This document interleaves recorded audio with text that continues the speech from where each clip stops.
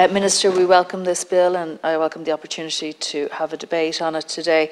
Um, what we've seen over the last you know, couple of years are it's, it's the impact um, and the huge community and societal cost to uh, the, the prices that we've been seeing. We've had record energy prices for consumers. We've had record levels of energy poverty, record levels of disconnections, um, and at the same time, as that was happening and that incredible impact on our communities and on individuals, we've also seen record profits for energy companies. And I think that is a clear illustration that, there, that the energy market that we have is not robust enough to deal with external shocks, um, shocks such as Ukraine.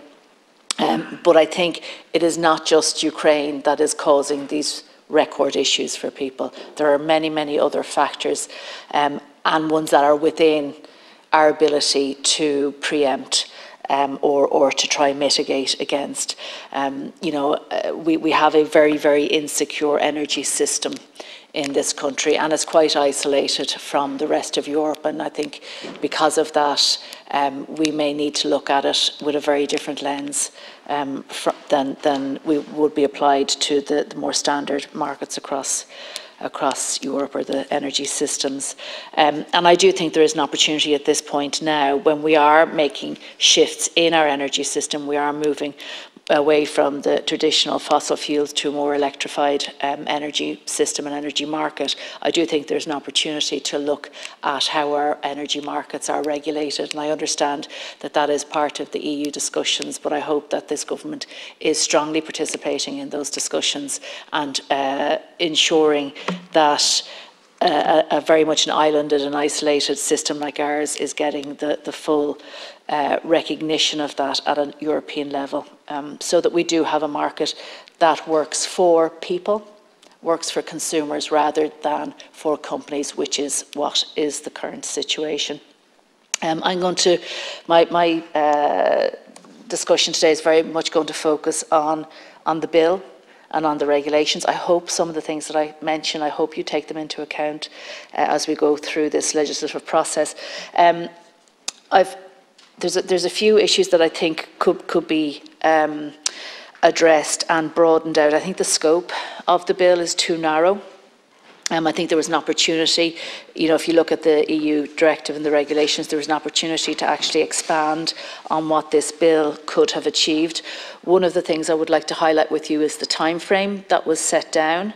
Um, the bill only relates to, and indeed I know the regulations relate to the period from December 22 to June 23.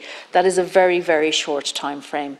Um, and even within the EU regulations, it repeatedly no, uh, discusses how the electricity markets and very high prices were, were observed since September 2021. Um, you know, it also talks about extreme and lasting price increases observed since February 2022. So I think that the six months that the EU and, and indeed that this bill talks about is not long enough. It is not a long enough length of time. Um, energy prices in this country have been rising since early in 2021. We have had that impact on people since that time period as well. And indeed, our prices are still incredibly high. And therefore, this bill will not do anything to, to cap or to, uh, I suppose, pull back some of the profits that the companies will be making on prices uh, that people are facing and being hit with at the moment. Um, now, I'm not sure whether it is within the, the remit of the government to extend that period. Um, I do think there is some flexibility within the EU uh, regulation, though, because it does talk about, you know, that there are ways of derogation from the union rules. Um, and I would ask that the government seek some advice on that to see whether or not that six month period can be extended because I think that will be a very, very worthwhile thing to do. We need to make sure that no one profits, that no company profits on the back of a war and on the back of exploiting ordinary consumers when it comes to electricity prices. Um, energy is an absolute necessity for life. It is not something that people can do without, and it's really, really important um, that we do not see any excess profits uh, on the back of that of, of people suffering in that regard. Um, I would also just, you know, I think I, I, spoke earlier on about our energy market and how we could have actually. Um, you know, other ways that we could have addressed uh, these high prices. And I just, I do note that there were a range of tools and measures that could have been implemented in Ireland. This windfall tax is one of them, and as I said, it is, it is welcome.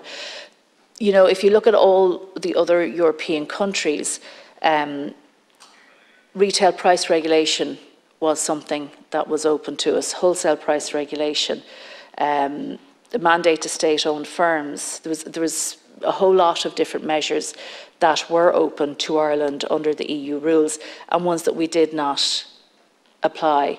Um, Ireland and Finland were the only two countries, indeed, out of all the European countries that did not bring in retail price regulation. Um, countries like France and Spain had wholesale wholesale price regulation. So I think, look, there, there were other options that were open to the government to try assist, and I think uh, that the government you know, could have and should have actually um, investigated and examined those options to see whether or not um, they could have brought measures in that would that would help.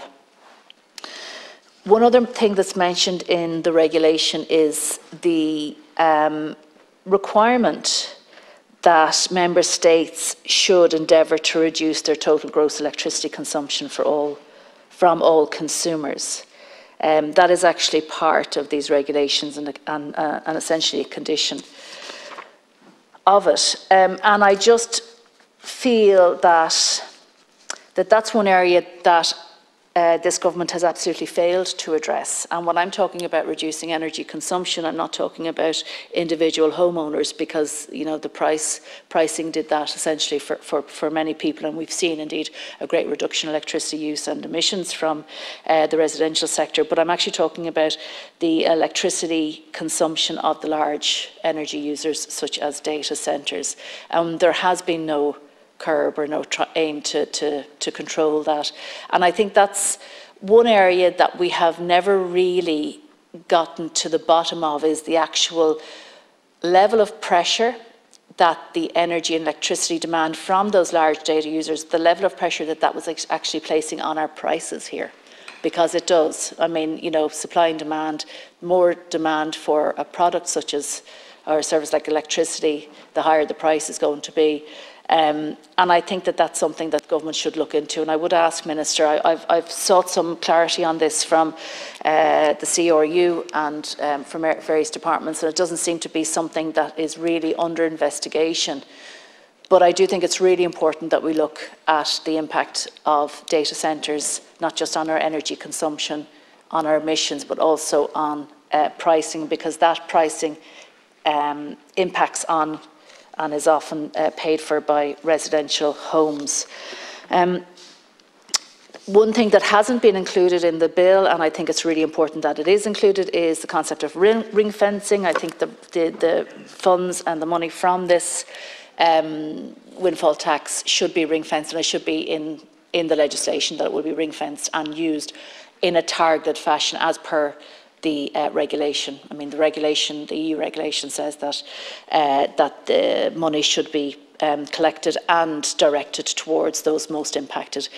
I don't believe that the government has gotten that targeting right. I don't think you've targeted the supports enough, and I've repeatedly spoken in, in this chamber and, and elsewhere about you know the number of holiday homes that received 600 or 800 euro credit um, as a result of that that uh, the uh, scheme that was brought in. Um, uh, you know, that's an absolute waste of, of taxpayers' money, and I think that it's really important that whatever money is taken in through this measure is directed to those people who need it most, um, and that should be something that should be in the legislation and the targeting of that should also be spelled out in the legislation. Um, one element of the bill that I, I, welcome and I was quite interested to see was the um, the fact that the hedging element um, from these companies will actually be notified to the CRU as the competent uh, authority. Um, I, that's really welcome. What I would ask actually is that it is not just limited to this bill and to this particular period in time. I think it's really important that the CRU has the ability to examine and monitor and investigate the hedging um, and, and the, the contractual arrangements of these companies on an ongoing basis.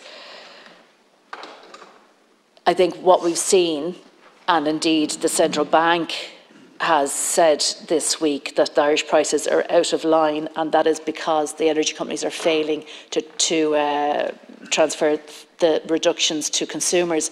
We need to have a monitoring of those hedging practices.